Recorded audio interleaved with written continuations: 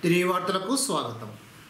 ఇరగవర మండలం రేలంగి గ్రామంలోని మంటలాంబ అమ్మవారి ఆలయం సమీపంలో గల శ్మశాన వాటిక వద్ద ఎనిమిది లక్షల రూపాయలతో ఇటాకుల సత్యనారాయణ కుమారుడు వీరమదిబాబు నిర్మించిన షెడ్డును పారిశ్రామికవేత్త పసుపులేటి వెంకట్రామారావు ప్రారంభించారు. సత్యనారాయణ చిత్రపటానికి పూలమాల వేసి నివాళులర్పించారు. శ్మశాన వాటిక వద్ద గల ఇబ్బందులను గుర్తించి మధుబాబు ముందుకు వచ్చి నిర్మాణ కార్యక్రమం చేపట్టడం అభినందనీయమని రామారావు అన్నారు. సత్యనారాయణ స్నేహితుడు ధోనిల బాబాయ్యను అభినందించారు. గంధం కేశవరావు ఎర్రంశెట్టి ఏడుకొండలు పసుపులేటి వెంకటేశ్వరరావు పలుచూరి మెంటయ్య పసుపులేటి సూరిపండు విజయ్ తదితరులు పాల్గొన్నారు. కూడా నమస్కారాలు. ఈ రోజున ఇక్కడ రేలంగి గ్రామంలో శ్రీ మంటలమ్మవారి అమ్మవారి ప్రాంగణంలో దగ్గరలో చేసిన రుద్రభూమిలో ఈ రుద్రభూమిలో కార్యక్రమం నిర్వహించే వారికి వచ్చిన వారికి అతిథులకి మిగతా వాళ్ళకి కార్యక్రమంలో పాల్గొనే వాళ్ళందరికీ కూడా ఈ వర్షాలు కూర్చున్నప్పుడు అలాగే సరైన సదుపాయాలు కల్పించేందుకు మన మిత్రుడైన ఇటాకుల మధుబాబు గారు వాళ్ళ తండ్రి ఇటాకుల సత్యనారాయణ గారు జ్ఞాపకార్థం ఈ రోజున ఇక్కడ విశాలమైన షెడ్ నిర్వహణ చేయడం జరిగింది. అలాగే ఈ అంటే చాలామంది చాలా కార్యక్రమాలు చేస్తూ ఉంటారు.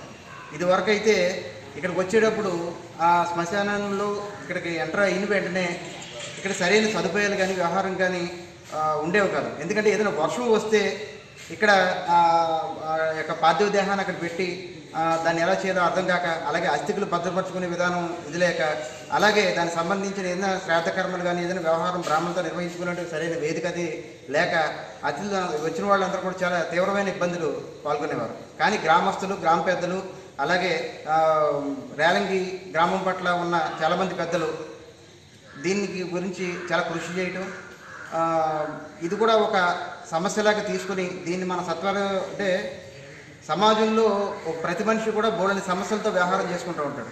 కానీ అతను చనిపోయిన తర్వాత కూడా అతను కార్యక్రమం చేయడం కూడా ఒక పెద్ద సమస్య కింద తయారవ్వకూడదు అందుకే దీన్ని ఒక శాంతివానంగా పిలుస్తారు. అంటే మానసిక ప్రశాంతతగా మనిషికి వచ్చేది ఇక్కడే కాబట్టి. ఇరగవరం మండలం రేలంగి పార్టీ కార్యాలయంలో పశ్చిమ గోదావరి జిల్లా ఎస్ఎస్ఎల్ అధ్యక్షులు చుక్కా సాయిబాబు మాట్లాడుతూ ఈ రాష్ట్రంలో అంబేద్కర్ రాజ్యాంగంలో తొందా లేక రాజారెడ్డి రాజ్యాంగంలో తొందా అర్థం కావడం లేదని అన్నారు. పాలకొల్లులో టిట్కో ఇల్లు ప్రారంభోత్సవ కార్యక్రమంలో జరిగిన సంఘటన చాలా దురదృష్టకరమైందని తెలిపారు. ప్రజాస్వామ్యబద్ధంగా ప్రత్యక్షంగా ప్రజల చేత ఎన్నిక కాబడిన ఎమ్మెల్యే రామానాయుడు అలాగే ఎమ్మెల్సీ అంగర్ రామ్మోహన్ రావును అవహేళన చేస్తూ దూషిస్తూ దుష్పార్షలాడుతూ వైఎస్ఆర్సీపీ నాయకులు వారిపై దౌర్జన్యానికి పాల్పడడం ఇది కక్ష సాధింపు చర్య అని పేర్కొన్నారు. కార్యక్రమంలో పార్టీ అధ్యక్షులు మానే భాస్కరరావు మండల యువత అధ్యక్షులు గూడూరి నాగరాజు పార్టీ సెక్రటరీ కామన రాంబాబు ఎక్స్ ఎంపీటీసీ కామన ఏడుకొండలు పార్టీ నాయకులు కసగాని రామకృష్ణ పసుపులెట్టి నాగన్న పరుచూరి శ్రీను కవల కాంతారావు ఏకుల అప్పారావు తదితరులు పాల్గొన్నారు. భారత రాజ్యాంగం అమలవుతుందా? లేక రాజరెడ్డి రాజ్యాంగం అమలవుతుందా? అర్థం కానిటువంటి పరిస్థితి ఈ రాష్ట్రంలో నెలకొని ఉంది. ఎందుకంటే నిన్న జరిగినటువంటి సంఘటన పాలకొల్లో ఇట్కోయిల్లో మరి ప్రారంభోత్సవం జరిగినటువంటి కార్యక్రమం మరి తీవ్రమైనటువంటి అన్యాయమైనటువంటి పరిణామం ఎందుకంటే అక్కడ స్థానిక ఎమ్మెల్యే గారు నిమ్మల రామనాయుడు గారు అలాగే ఎమ్మెల్సీ అంగ రామ్మోహన్ రావు గారిని ఇద్దరిని కూడా మరి అవహేళన చేస్తూ దూషిస్తూ అలాగే వారి మీద దాడి చేయటం అనేటువంటిది తెలుగుదేశం పార్టీ తరఫు నుంచి మేము తీవ్రంగా ఖండిస్తున్నాం. ఎందుకంటే గత ప్రభుత్వంలోనే ఈ టిట్కో ఇల్లు సుమారు తొంభై శాతం మరి పూర్తయినటువంటి సందర్భం ఉంది. కానీ పది శాతం కూడా ఈ ప్రభుత్వం ఈ మూడున్నర సంవత్సరాలు కూడా నిమ్మక నీరెత్తినట్టుగా మరి ఆ టిట్కో పూర్తి చేయకుండా మరి కాలయాపన చేసి వారి క్రెడిట్ కోసం ఆ ప్రభుత్వం యొక్క సింపతి కోసం కొంతమందిని పేరు ఆర్టిస్టులు పెట్టి మరి స్థానిక ఎమ్మెల్యే గారిని ఎమ్మెల్సీ గారిని కూడా అవహేళన చేయటం అనేటువంటిది అలాగే వారిని మరి దూషించడం అనేటువంటి చాలా దుష్కరమైనటువంటి చర్య. ఎందుకంటే మరి ఈరోజు ప్రజాస్వామ్య వ్యవస్థలు మనం ఉన్నాం.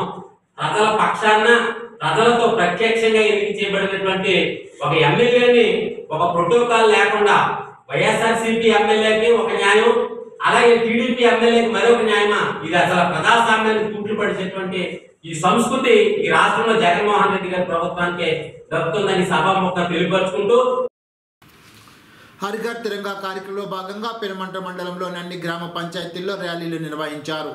ఎంపీపీ జడ్పీటీసీ మండల స్థాయి అధికారులు సర్పంచులు ఎంపీటీసీలు గ్రామ సచివాలయ సిబ్బంది వాలంటీర్లు గ్రామ ప్రజలు పాల్గొన్నారు. పినమంట మండలం మాటేరు గ్రామంలో దేవాంగులపేటలో గల శ్రీ మావులమ్మ అమ్మవారి గుడి ఆవరణలో శ్రీ గౌరీ శంకర దేవాంగ కళ్యాణ మండపంలో జాతీయ చేనేత దినోత్సవాన్ని నిర్వహించారు. ఈ సందర్భంగా జాతీయ చేనేత ఉభయ గోదావరి జిల్లా ఇన్ఛార్జ్ అల్లాడ సూర్యభాస్కరరావు మాట్లాడుతూ చేనేత కార్మిక కుటుంబాలు అందరూ సుభిక్షంగా సంతోషంగా ఉండాలని కోరుకుంటూ అలాగే చేనేత కార్మికులకు ముద్రాలు రుణాలను చేనేత అందేలాగా చర్యలు తీసుకోవాలని కోరారు. కార్యక్రమంలో మాటేరు దేవంగా సంక్షేమ సంఘ అధ్యక్షులు అల్లాడు కుమారస్వామి భాస్కర్రావు కొడవటి వెంకటరమణ చేనేత పెద్దలు కొమ్మని లక్ష్మణరావు చేనేత కార్మికులు పాల్గొని కార్యక్రమాన్ని జయప్రదం చేశారు. ఇప్పుడు తూర్పుగోదావరి జిల్లా వార్తలు. జిల్లాలో టెక్నాలజీని ఉపయోగించుకొని ఆప్కో చేనేత వస్త్రాలను అమ్మే విధంగా చర్యలు తీసుకోవాలని డాక్టర్ కె. మాధవీలత అన్నారు. ఆదివారం జాతీయ చేనేత దినోత్సవాన్ని పురస్కరించుకుని నేత బజార్ వద్ద ఆప్కో ఎగ్జిబిషన్ సేల్స్ కౌంటర్ను మాధవీలత ప్రారంభించారు. ఈ సందర్భంగా జిల్లా కలెక్టర్ మాధవీలత మాట్లాడుతూ పంతొమ్మిది ఐదో సంవత్సరంలో స్వదేశీ ఉద్యమాన్ని గుర్తుగా ఆగస్టు ఏడవ తేదీన జాతీయ చేనేత దినోత్సవంగా ఎంచుకోవడం జరిగిందని అన్నారు. చేనేత పరిశ్రమ ప్రాముఖ్యతను గురించి అవగాహన కల్పించే లక్ష్యంతో భారత ప్రభుత్వం రెండు వేల పదిహేనవ సంవత్సరం ఆగస్టు ఏడవ తేదీన చే చేనేత జాతీయ దినోత్సవంగా ప్రకటించడం జరిగిందని అన్నారు. ప్రభుత్వం నేతన్నలకు అండగా ఉంటుందని జాతీయ చేనేత దినోత్సవం సందర్భంగా అందరికీ శుభాకాంక్షలు తెలిపారు. తొలుత ఆప్కు అధికారులు చేనేత కార్మికులతో ర్యాలీ నిర్వహించారు. అనంతరం ప్రదర్శనలో ఉంచిన వస్త్రాలను కలెక్టర్ పరిశీలించారు. ఆజాదిక అమృత్ మహోత్సవ వేడుకల్లో ప్రజలు ఎత్తున ఆప్కో వస్త్రాలు కొనుగోలు చేసి జాతీయ భావాన్ని కలిగి ఉండాలని కోరారు. తద్వారా చేనేత కార్మికులు ప్రోత్సహించిన వారు అవుతారని తెలిపారు. ఈ సందర్భంగా దీర్ఘకాలంగా చేనేత వృత్తిలో ఉన్న ఐదుగురు చేనేత కార్మికులను కలెక్టర్ సన్మానించారు. కార్యక్రమంలో జిల్లా నేత అభివృద్ధి అధికారులు కృష్ణ భాస్కర్ కె నాయుడు గణేష్ సహాయ అభివృద్ధి అధికారి సత్యవేణి సీనియర్ మేనేజర్ విజయ్ భాస్కర్ తదితరులు పాల్గొన్నారు. ఈరోజు అంటే ఆగస్ట్ ఏడున మనం ప్రతి సంవత్సరం కూడా నేషనల్ హ్యాండ్లూమ్స్ డేగా జరుపుకోవడం జరుగుతుంది. అయితే ఈరోజు ఒక్కరోజే మనం హ్యాండ్లూమ్స్ డే జరుపుకోవడం అనేది కాదు. ఇది మనకి తెలుసు ఎందుకు ఈ రోజు జరుపుకుంటాము అంటే మనకి పంతొమ్మిది వందల ఐదులో ఈ స్వదేశీ మూమెంట్ ఏదైతే వచ్చిందంటే స్వాతంత్రోద్యమం. అప్పుడు పంతొమ్మిది వందల ఐదులో బ్రిటిషర్స్ వారి ప్రోడక్ట్స్ తీసుకొచ్చి మన దగ్గర అమ్మేటప్పుడు వారి ప్రోడక్ట్స్ కానీ వారి బిజినెస్ కానీ ఇక్కడ జరగకూడదు అనే ఉద్దేశంతో స్వదేశీ మూమెంట్ అప్పుడు తీసుకొని రావడం జరిగింది. అయితే అప్పటి నుంచి మన వస్తువులు మన చేనేత నేతన్నలు ఎవరైతే ఇక్కడ ఉన్నారో వారికి మంచి వ్యాపారం కల్పిస్తూ వారి ప్రోడక్ట్స్ని మనం ఎంకరేజ్ చేయాలనే ఉద్దేశంతో ఈ రోజుని మనం నేషనల్ హ్యాండ్లూమ్స్ డేగా జరుపుకుంటున్నాము. అయితే ఇక్కడ కూడా మనకి జిల్లాలో కొత్తగా ఏర్పాటైన తూర్పుగోదావరి జిల్లాలో మనకి రెండు క్లస్టర్స్ కూడా మనము ఆల్రెడీ ప్రపోజ్ చేసి ఉన్నాము. ఈ రెండు నెలల్లో పులకుర్త క్లస్టర్ ఒకటి మురిమండ క్లస్టర్ ఒకటి. మనకి చూస్తున్నాం ఆంధ్రప్రదేశ్లో చాలా రకాల శారీస్ కానీ చాలా రకాల హ్యాండ్లూమ్స్ కానీ ఇక్కడ మనకి వీవింగ్ జరుగుతూ ఉంటుంది. అయితే ఓన్లీ థింగ్ ఈజ్ మీకు మంచి మార్కెట్ని కల్పిస్తూ ఎలా మనం బయటికి ప్రోడక్ట్స్ని తీసుకెళ్ళాలి అనే ఉద్దేశంతో యాప్కు కూడా ఈ మధ్యనే అమెజాన్ వీళ్ళతో కూడా టైఅప్ చేసుకున్నారు. అంటే మెయిన్ ఇప్పుడు ఏంటి అంటే మనకి మన ప్రోడక్ట్స్కి చాలా డిమాండ్ ఉంది. కాకపోతే మనం దాన్ని ఎలా బయటికి తీసుకొని రావాలి ఎలా పబ్లిసిటీ ఇవ్వాలి మనకి ఇప్పుడు ఉన్న టెక్నాలజీకి ఎలా మనం దీన్ని తోడ్పాటు చేసుకోవాలి అనేది మనందరం కూడా ఆలోచించుకోవాలి. మీ దగ్గర కూడా ఇక్కడ ఉన్న నేతన్నలకు కూడా అట్లీస్ట్ మీ దగ్గర ఏదైనా ఐడియాస్ ఉన్నా కూడా ఈ రకంగా చేస్తే మాకు జిల్లాలో మా హ్యాండ్లూమ్ ఇది మంచిగా చేసుకోవచ్చు. మాకు కూడా ఇది బాగుంటుంది అని మీరు చెప్తే ఆ క్లస్టర్స్ దగ్గర మీకు ఏమేమి కావాలి అనేది చెప్తే ఖచ్చితంగా కూడా అవి ఏర్పాటు చేయడం జరుగుతుంది. ఉండాజ్వరం శాఖ గ్రంథాలయంలో ప్రభుత్వం వారు ఇచ్చిన సుమారు నాలుగు వందల ముప్పై ఐదు పుస్తకాలను ప్రదర్శించి పిల్లలకు గ్రంథాలయ అవ- అలవాటు చేసే కార్యక్రమాన్ని నిర్వహించారు. కార్యక్రమానికి ముఖ్య అతిథిగా మండల పరిషత్ అధ్యక్షురాలు ఎల్ఆర్ఈశ్వరి మరో ముఖ్య అతిథి భీమవరం డిఎన్ఆర్ కళాశాల పూర్వ ప్రిన్సిపాల్ డాక్టర్ జె చంద్రప్రసాద్ పాల్గొన్నారు. ఈ సందర్భంగా వారు మాట్లాడుతూ నేటి విద్యార్థుల్లో పుస్తకాలు చదివి అలవాటు పెంపొందించాలని అన్నారు.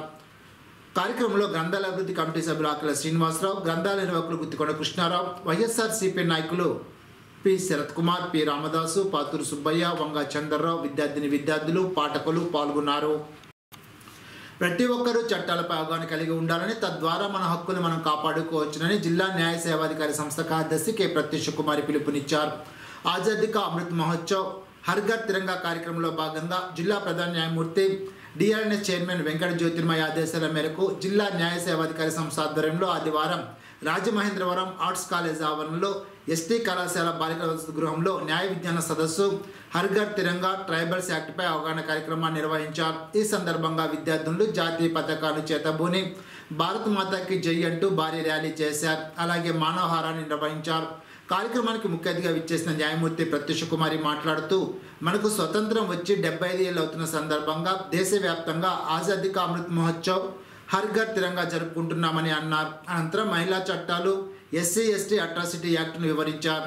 కార్యక్రమంలో district tribal welfare officer KN Jyothi DLNA panel న్యాయవాది Dharnala Kota Venkateswararao పిఎల్సీలు Lakkoju Omkar child line coordinator Srinivas Prashanti వార్డెన్లు CH Srinivas Lakshmikanthi తదితరులు పాల్గొన్నారు. ఈనాటి బంగారు మాట. అభిప్రాయాన్ని మార్చుకోలేని వ్యక్తి తన తప్పుల్ని సర్దిద్దుకోలేడు. ఎడ్వర్డ్ ఈ వార్త ఇంతటితో సమాప్తం. తిరిగి విజన్స్లో కలుసుకుందాం. అంతవరకు సెలవు. నమస్కారం.